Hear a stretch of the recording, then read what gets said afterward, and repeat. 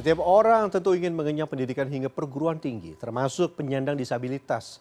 Berdasarkan data Kementerian Koordinator Bidang Pembangunan Manusia dan Kebudayaan pada 2023, jumlah penyandang disabilitas di Indonesia mencapai 22,97 juta jiwa atau sekitar 8,5 persen dari jumlah penduduk Indonesia. Sudah sepatutnya penyandang disabilitas mempunyai peluang yang sama di berbagai bidang termasuk pendidikan.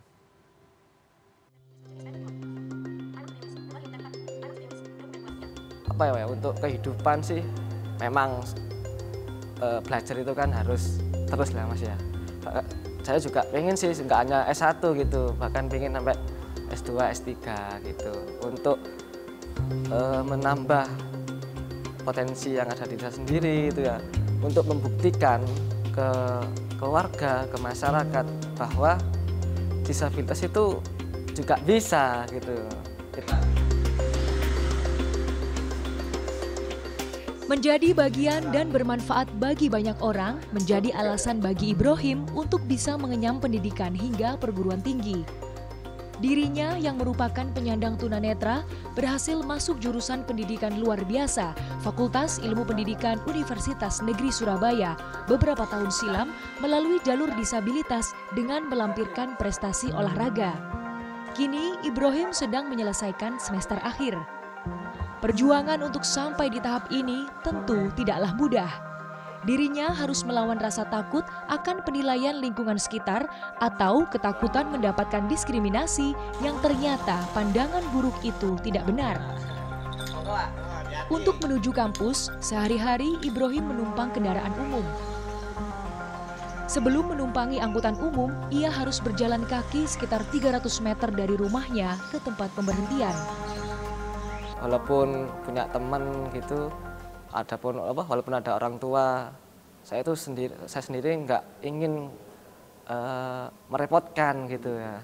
Saya ingin coba mandiri gitu. Nah ketika mencoba mandiri itu kan ketika habis dari kuliah pindah ke UKM pindah ke eh, kegiatan-kegiatan uh, gitu kan butuh mobilitas yang sangat uh, harus benar-benar berjuang keras ya kalau bagi teman-teman tunanetra kan karena kami kan ada hambatan penglihatan di situ oh capek gitu ya emang emang ya harus itulah yang harus dilakukan gitu termasuk juga pulang pergi kuliah Meski mobilitas menjadi hal yang cukup menyusahkan, Ibrahim pun merasa suka selama kuliah. Kampusnya ini ramah terhadap penyandang disabilitas. Selain sistem perkuliahan yang sama pada umumnya, Ibrahim pun dibantu dengan huruf braille dan penggunaan aplikasi pembelajaran.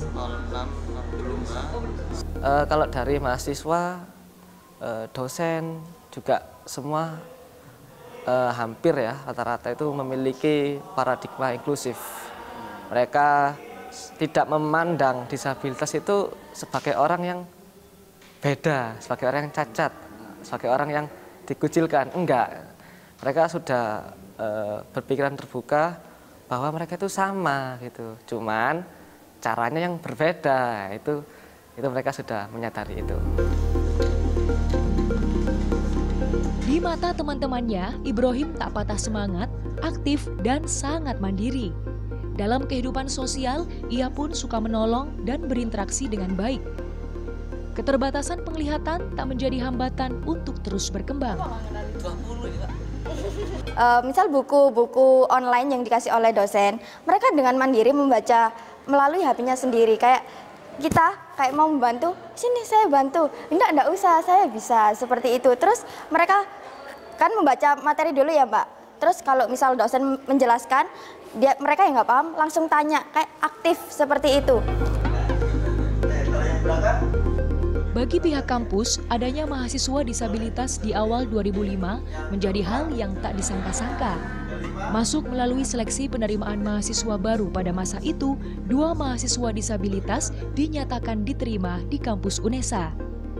Pihak kampus mengaku kagum dengan para mahasiswa disabilitas yang mampu beradaptasi di lingkungan kampus seperti mahasiswa umum lainnya. Selain kemampuan adaptasi lingkungan, para mahasiswa disabilitas juga mampu mengikuti pelajaran yang diberikan. Pada tahun 2024, 65 mahasiswa disabilitas berkuliah di Universitas Negeri Surabaya. Mereka di antaranya penyandang tunanetra, tunarungu, tunagrahita, tunadaksa, autis, dan anak kesulitan belajar. Yang yang mengherankan bagi para dosen uh, yang selama ini mungkin menganggap bahwa ini tidak akan selancar yang yang yang apa yang dialami. Ternyata anak-anak yang yang dimasuk kemarin itu ternyata bisa belajar seperti bagaimana yang teman-temannya yang yang awas yang tidak disabilitas bahkan bisa setara. Nah ini yang eh, dosennya sendiri bisa jadi kaget gitu ya. Wah ternyata begini mereka belajar gitu.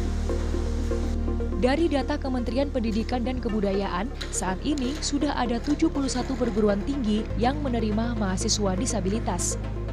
Dari ke-71 kampus, ada 10 kampus terbanyak yang menerima mahasiswa disabilitas pada tahun 2022. Di antaranya Universitas Negeri Jakarta, Universitas Muhammadiyah Purworejo dengan masing-masing 11 orang mahasiswa disabilitas. Tim Liputan CNN Indonesia.